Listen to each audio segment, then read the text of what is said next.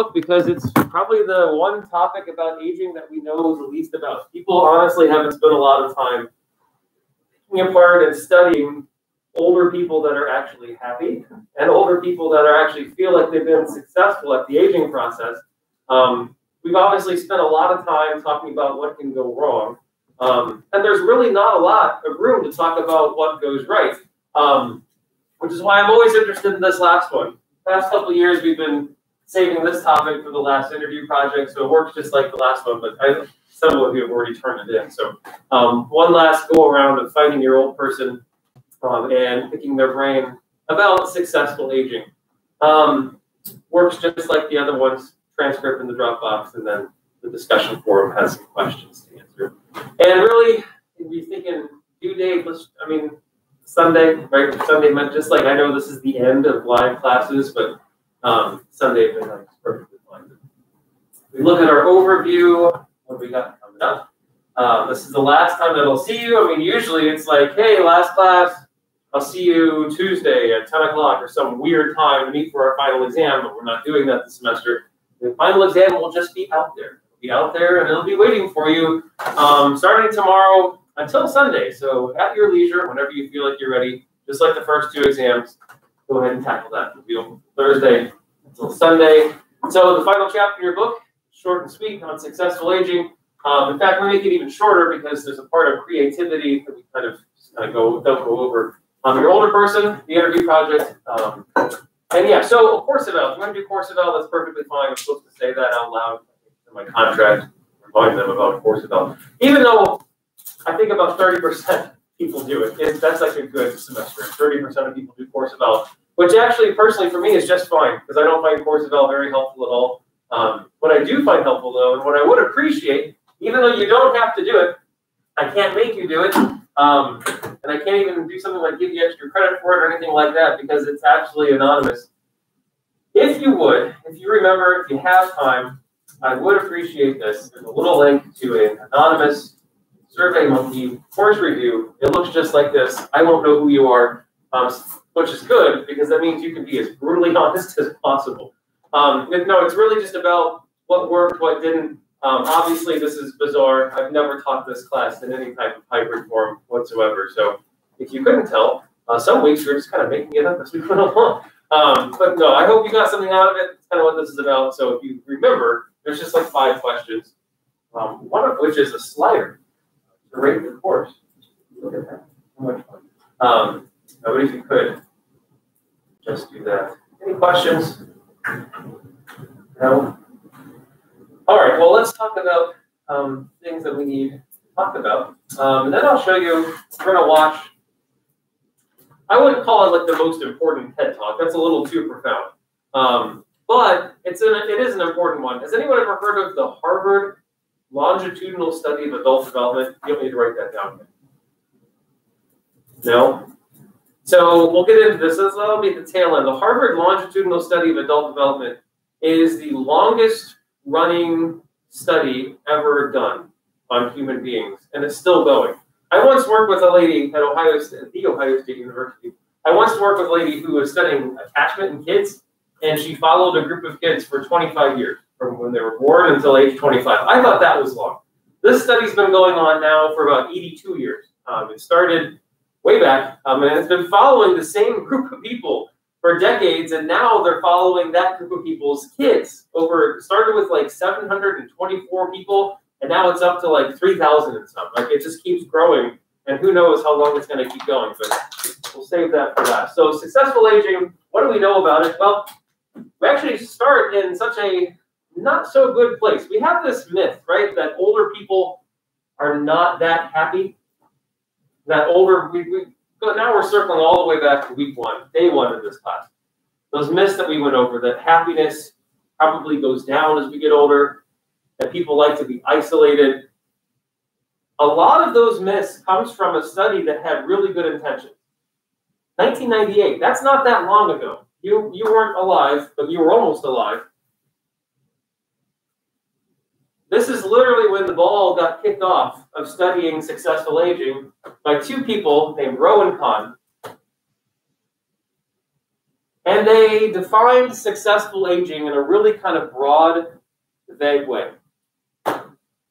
Interestingly enough, not by asking people, they just kind of came up with it on their own. They said three things you need. So think of a Venn diagram, and you got to be where they all connect to be successful. The first part is you have to be absent of any disease or disability. Okay, that's kind of a big one. That's actually a big ask. I mean, as we get older, our risk for disease and some kind of disability gets greater and greater and greater. So, right there, that's a pretty exclusive category. They also said you need to show high cognitive skills. Okay, let's not. Hopefully, we have that. Then this other broad kind of vague one category they said is you need to be highly engaged socially in your life. And they went out, I guess maybe to places like Copeland Oaks. And they were curious, well, how many people who are older, and like I think they defined older by like 70, some kind of random number, 70 and up. I guess I wrote it over there too. We start with the number 19. According to Rowe and Kahn, only about 19% of older people are actually successful at the aging process.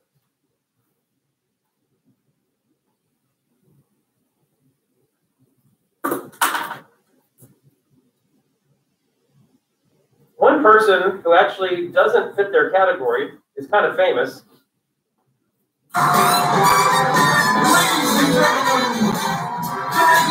hosting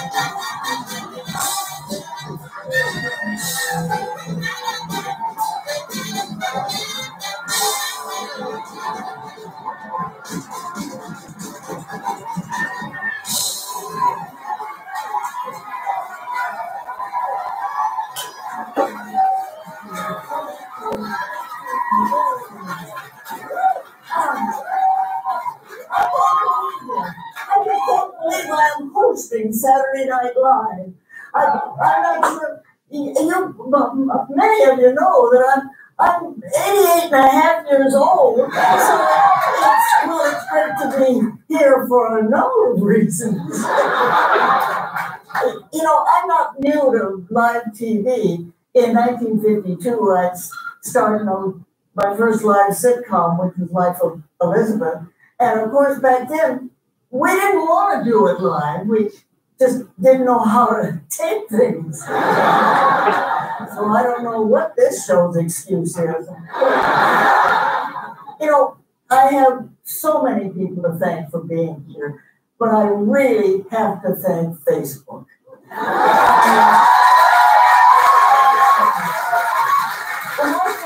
About the campaign to get me to host Saturday Night Live, I didn't know what Facebook was. and now that I do know what it is, I have to say, it sounds like a huge waste of time. I never say that people on it are losers. but that's only because I'm polite. People say, but Betty, Facebook is a great way to connect with old friends. Well, at my age, if I want to connect with old friends, I need a Ouija board. Needless to say, we didn't have Facebook when I was growing up. We had phone but you wouldn't waste an afternoon. Facebook just sounds like a drag. In my day, seeing pictures of people's vacations was considered a punishment. and when we were kids, we didn't say we were single. We were just kids. It was weird if you weren't single. Yes, we had poking, but it wasn't something you did on a computer. it, was, something you did on a hayride. Under a blanket. Oh, sorry. Things were a lot different when I was growing up. I, my father, Horace, was a traveling salesman who moved our family to California during the Great Depression. I mean, that's the kind of stuff you only read about in novels. And to think I've lived through a world war, worked on radio and films on Mary Tyler Moore and the Golden Girls. And,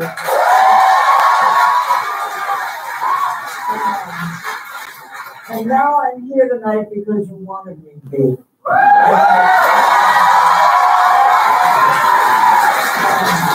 I just want to say I feel so loved. Thank you. If I could, I would I would take you all on a big hayride. Starting with you, sir. No, not you. You. Guess what? Jay Z is here.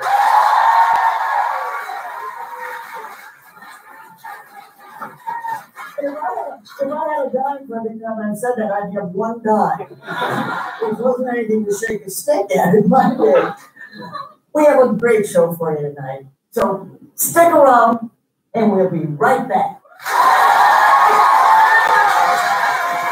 I would say Betty White's pretty successful. You didn't know, yeah, there was a Facebook campaign to get her on the show at the ripe old age of 88, but she would not actually fit their model of successful aging.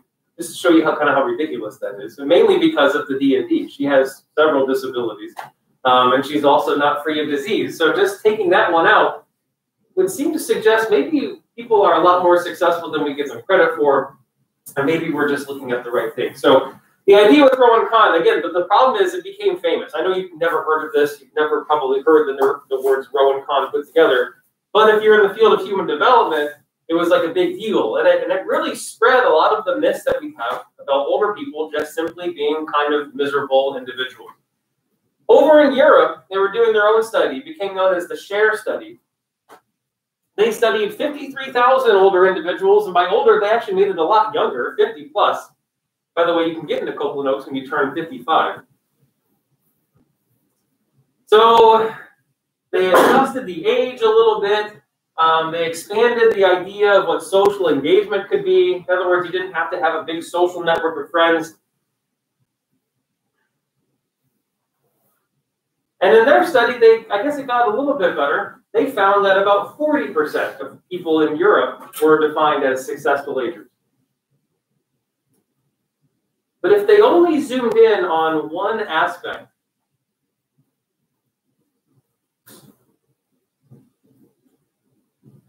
they ended up coining what they called superagers.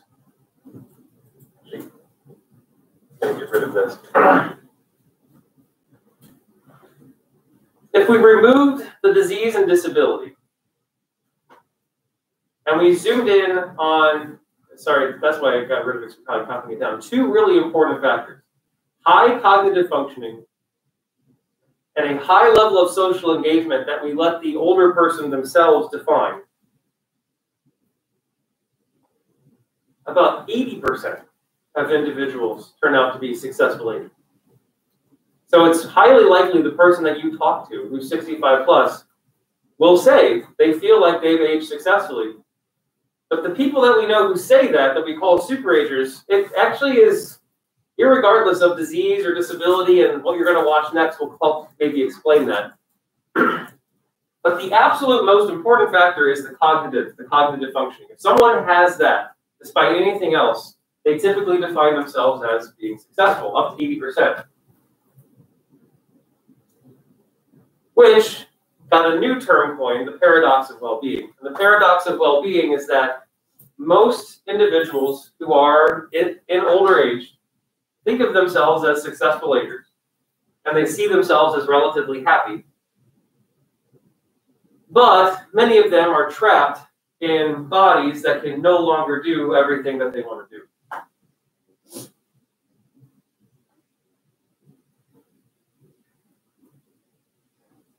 I was in Walmart the other day. I find myself there way too often. And I saw this little guy who looked, he just, he didn't look happy.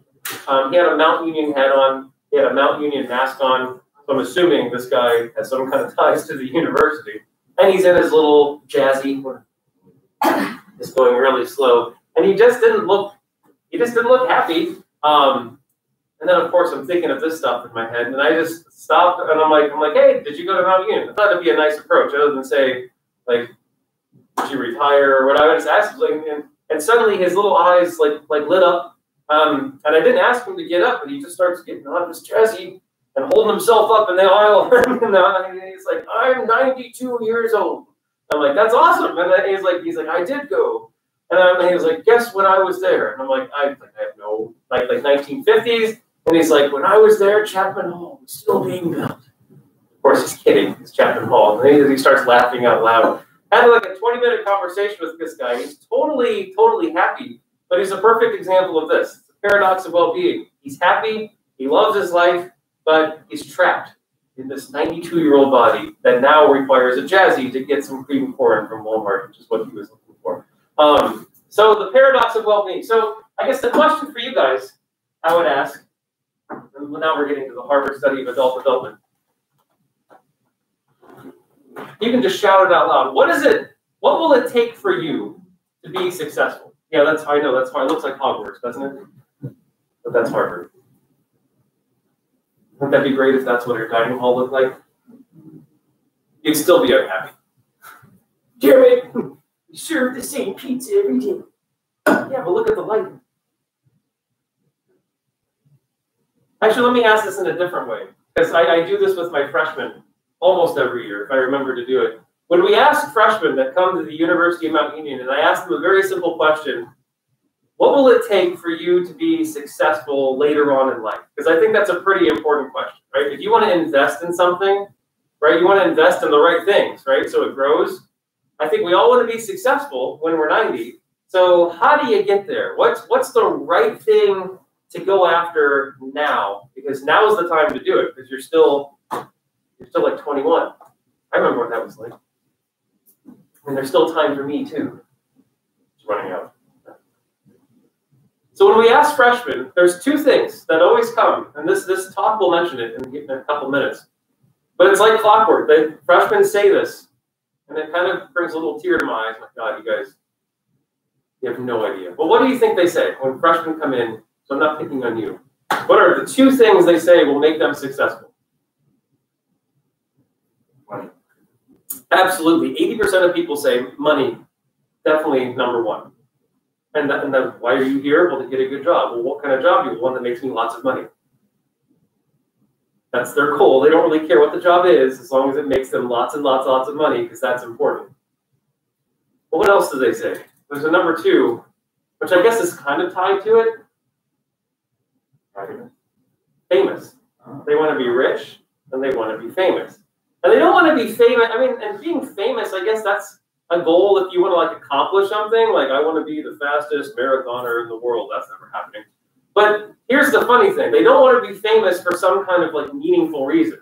They just want to be famous, like Kardashian famous. Like they just for like they have a brand. Like they want to be a what do they call an influencer or like someone on youth, right? They want to have the viral video that makes them instantly famous, and that's so. Which of course, the reason they want that money because fame, right? brings so they want notoriety and they want fame.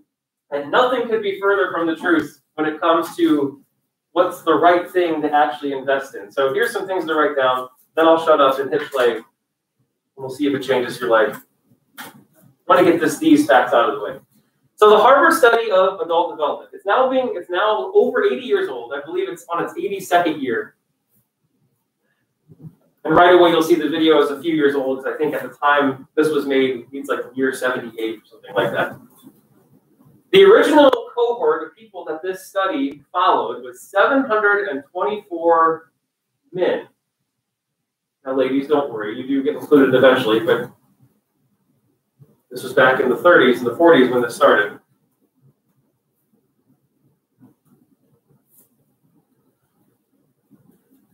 the fun thing, you don't need to write this next part down. The fun thing about this study is it really wasn't aimed at anything in particular. They just wanted to study people and how they grew over time. They didn't know what to expect. They didn't have really any like set expectations or biases. They literally just wanted to watch individuals over the years and see what happens. There are now 60 people left in the original cohort That's it. Out of 724. So less than 10% of them are still alive. And all of them that are still alive today are well into their 90s. Here's the interesting thing, and they're, they're, I'm glad they had the foresight to do this. There were two very distinct groups that they followed. The first group were sophomores at, you guessed it, Harvard. Okay, really, that's who we're following? Because there's one thing you should, right, we can all guess. Oh, so these are extremely wealthy white males. Great. what a what a fun bunch of people to study. They've got all the privileges in the world, they've got everything just handed to them. But wait, the second group was entirely different. The second group, on purpose, were young boys from the slums of inner city Boston some of the poorest of the poor neighborhoods with no advantages.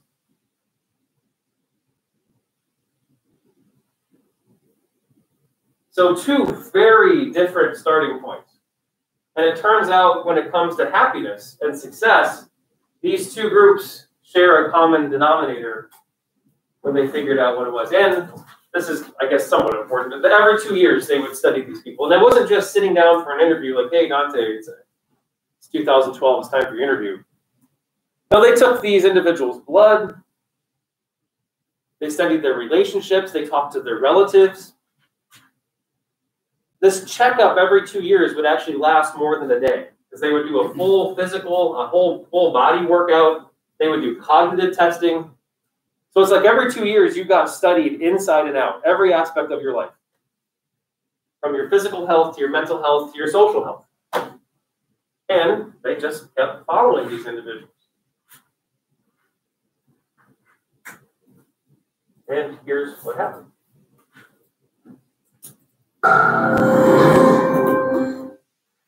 What keeps us healthy and happy as we go through life? If you were going to invest now in your future best self, where would you put your time and your energy? There was a recent survey of millennials asking them what their most important life goals were. And over 80% said that a major life goal for them was to get rich. And another 50% of those same young adults said that another major life goal was to become famous. And we're constantly told to lean into work, to push harder and achieve more. We're given the impression that these are the things that we need to go after in order to have a good life. Pictures of entire lives, of the choices that people make and how those choices work out for them, those pictures are almost impossible to get. Most of what we know about human life, we know from asking people to remember the past. And as we know, hindsight is anything but 2020. We forget vast amounts of what happens to us in life. And sometimes memory is downright creative. But what if we could watch entire lives as they unfold through time? What if we could study people from the time that they were teenagers all the way into old age to see what really keeps people happy and healthy? We did that. The Harvard study of adult development may be the longest study of adult life that's ever been done. For 75 years, we've tracked the lives of 724 men. Year after year, asking about their work, their home lives, their health, and of course, asking all along the way without knowing how their life stories were going to turn out. Studies like this are exceedingly rare. Almost all projects of this kind fall apart within a decade because too many people drop out of the study, or funding for the research dries up, or the researchers get distracted or they die, and nobody moves the ball further down the field. But through a combination of luck and the persistence of several generations of researchers, this study has survived about 60 of our original 724 men are still alive, still participating in the study, most of them in their 90s. And we are now beginning to study the more than 2,000 children of these men. And I'm the fourth director of the study. Since 1938, we've tracked the lives of two groups of men. The first group started in the study when they were sophomores at Harvard College. They all finished college during World War II, and then most went off to serve in the war. And the second group that we followed was a group of boys from Boston's poorest neighborhoods. Boys who were chosen for the study specifically because they were from some of the most troubled and disadvantaged families in the Boston of the 1930s. Most lived in tenements, many without hot and cold running water. When they entered the study, all of these teenagers were interviewed, they were given medical exams, we went to their homes and we interviewed their parents. And then these teenagers grew up into adults who entered all walks of life. They became factory workers and lawyers and bricklayers and doctors, one president of the United States. Some developed alcoholism, a few developed schizophrenia. Some climbed the social ladder from the bottom all the way to the very top and some made that journey in the opposite direction. The founders of this study would never in their wildest dreams have imagined that I would be standing here today, 75 years later, telling you that the study still continues. Every two years, our patient and dedicated research staff calls up our men and asks them if we can send them yet one more set of questions about their lives many of the inner city Boston men ask us, why do you keep wanting to study me? My life just isn't that interesting. The Harvard men never ask that question.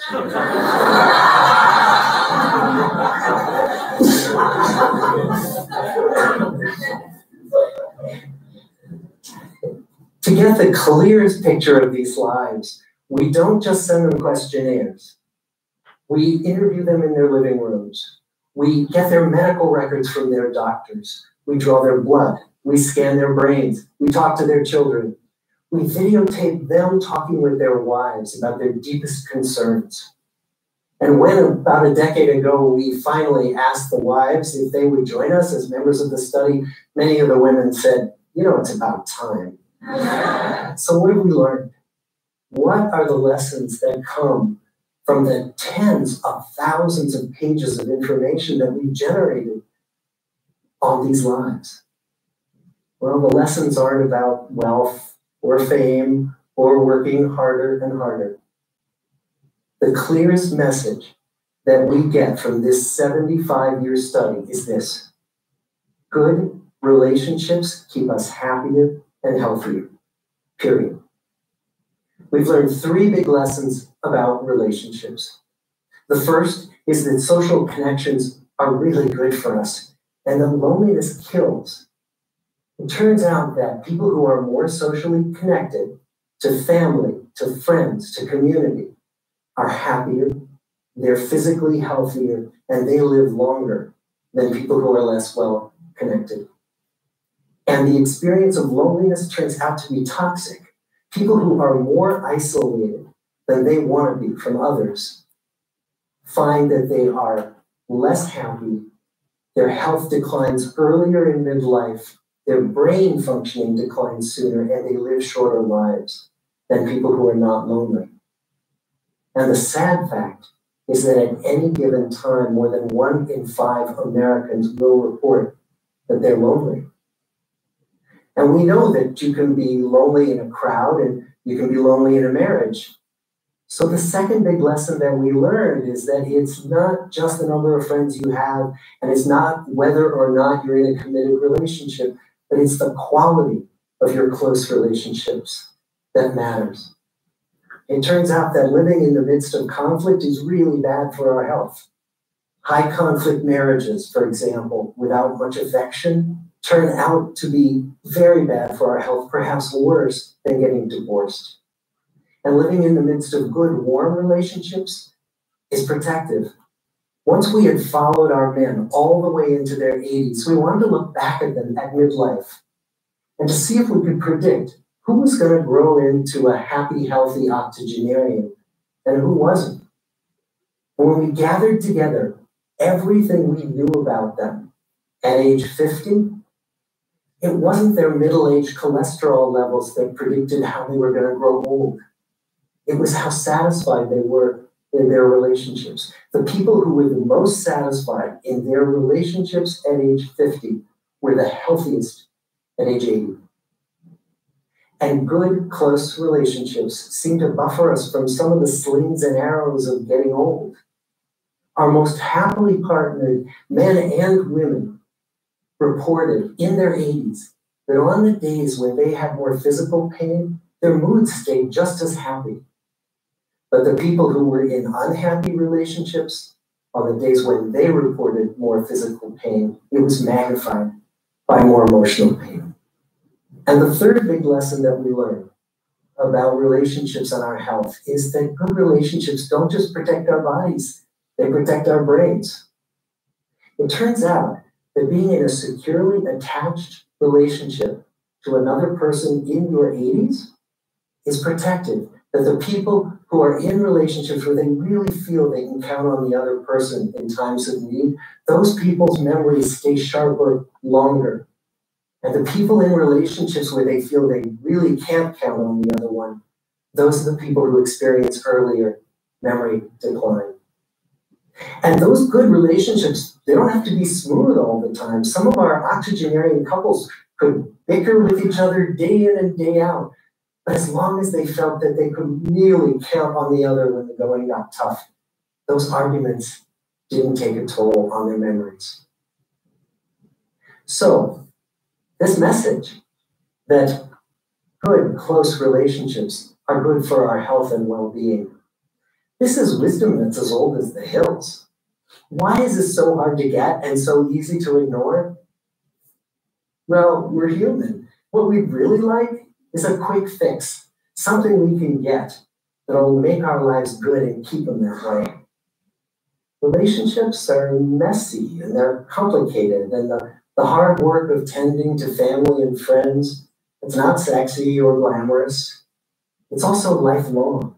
It never ends. The people in our 75 year study who were the happiest in retirement were the people who had actively worked to replace workmates with new playmates. Just like the millennials in that recent survey, many of our men, when they were starting out as young adults, really believed that fame and wealth and high achievement were what they needed to go after to have a good life. But over and over, over these 75 years, our study has shown that the people who fared the best were the people who leaned into relationships with family, with friends, with community. So, what about you? Let's say you're 25, or you're 40, or you're 60.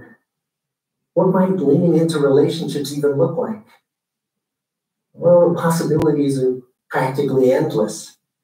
It might be something as simple as replacing screen time with people time, or livening up a stale relationship by doing something new together, long walks or date nights, or reaching out to that family member who you haven't spoken to in years, because those all too common family feuds take a terrible toll on the people who hold the grudges. I'd like to close with a quote from Mark Twain.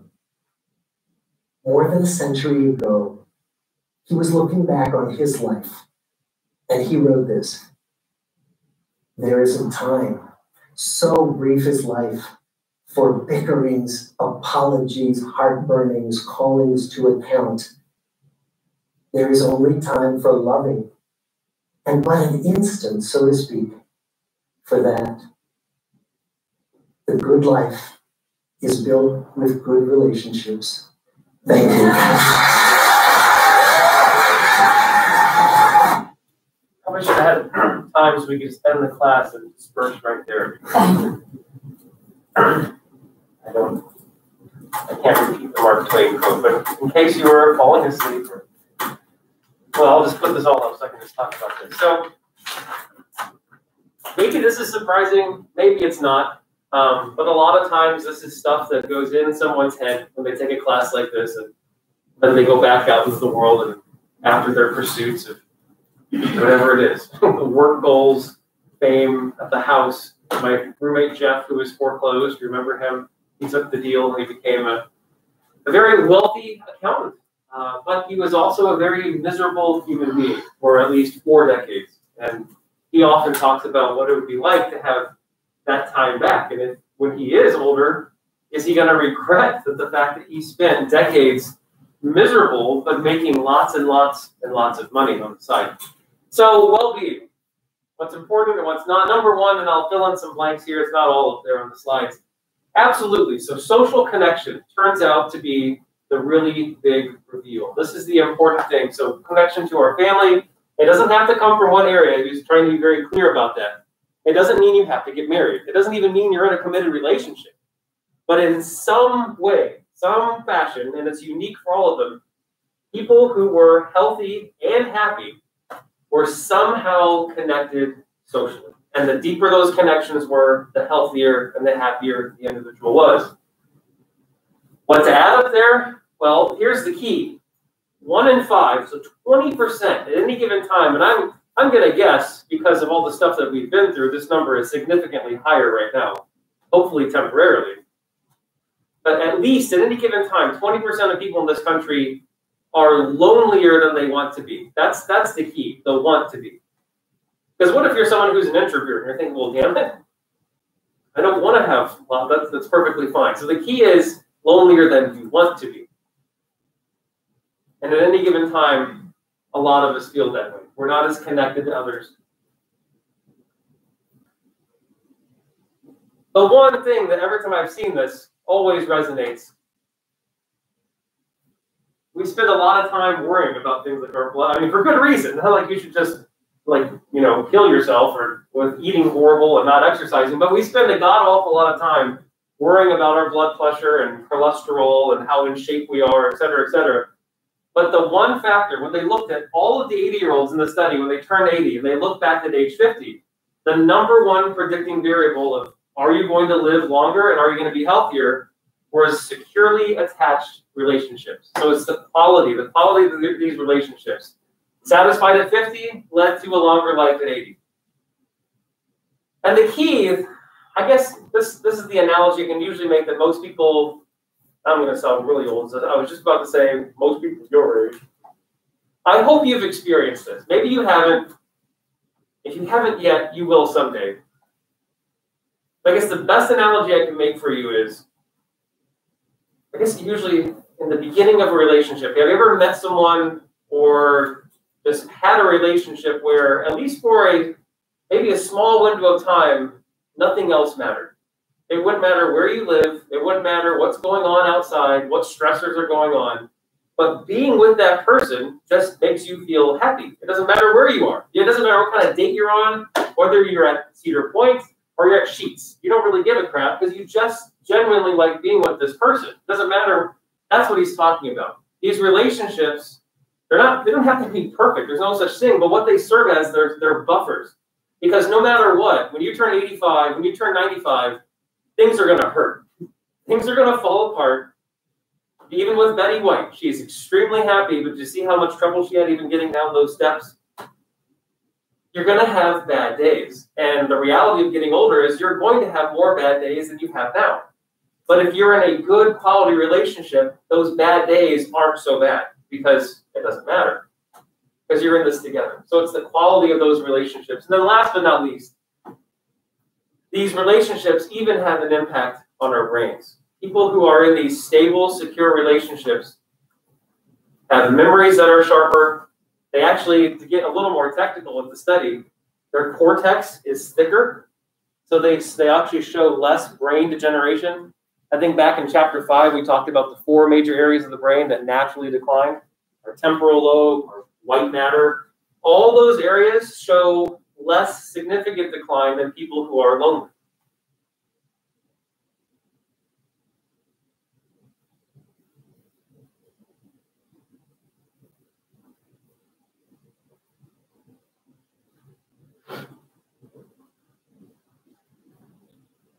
So I guess we waited until the end of the course to talk about the big secret, living a happy life. And so I'm curious what your older individuals will say when you pick their brains about successful aging and what they see as important. I guess it depends on how old they are, what their experiences have been, but they're probably not going to say things like fame and fortune was exactly what made them happy or successful. Any questions? No? Well, that's pretty much it. There's, there's, there's not, nothing left. Oh, we did it.